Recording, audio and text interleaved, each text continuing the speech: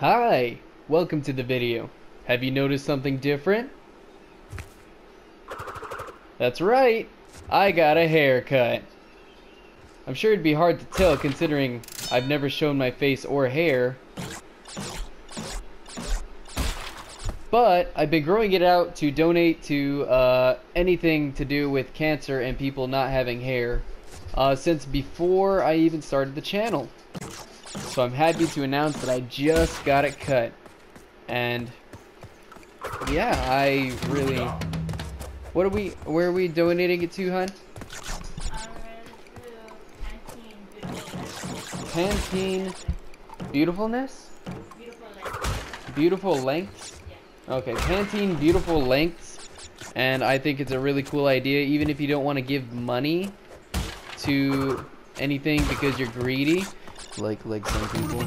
I really do recommend uh, at least giving something to that cause. Uh, maybe if you can't find the cure yourself, you can you can lend a helping hand in some way, like just growing out your hair. Uh, if it's restricted in your household, then fine, whatever. But if you can do it, then I'm sure somebody out there would really, really appreciate it.